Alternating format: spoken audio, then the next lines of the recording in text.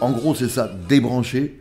Euh, par exemple, euh, euh, ne pas écouter les infos le matin à tous les coups, comme une espèce de, manège, se sortir des automatismes et retrouver un peu une respiration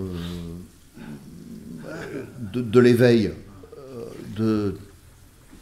un moment, un, nettoyage comme ça, peut-être euh, celui-là, ne serait-ce que pour mieux entendre après si je rebranche la radio ou d'autres instruments. Mais euh, c'était la, la vague résolution. J'en ai une autre, mais j'arrive plus à m'en souvenir.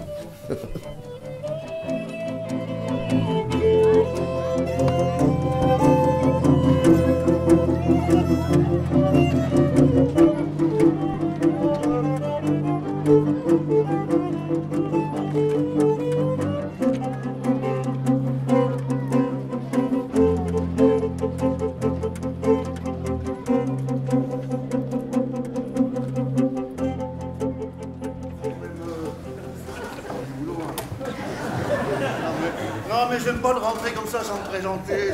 Ah, les cachotières, celles-là, les cachotières.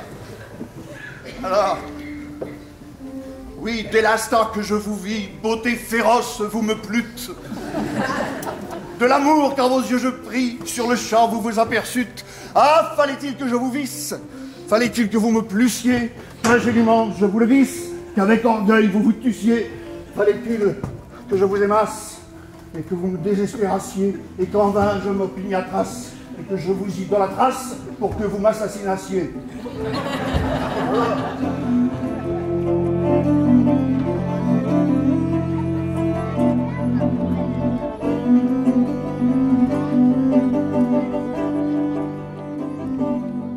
Si je parlais de, du Nord, euh, j'y reviens magnétiquement. Je suis toujours. Euh, J'ai essayé d'aller voir ailleurs, mais régulièrement. Alors, euh, j'aime bien euh, les différences d'accent avec lesquelles j'ai. Je me suis fait une oreille. J'aime bien repérer des choses ou et qu'il y a un, caractère, une, une manière d'approcher les choses ou de partager son destin, peut-être de vivre entre, entre les gens concernés par les mêmes histoires, que j'aime bien, quoi. Comme on dit euh, trop facilement, les gens du Nord sont des gens bien. On dit ils sont bien, les gens.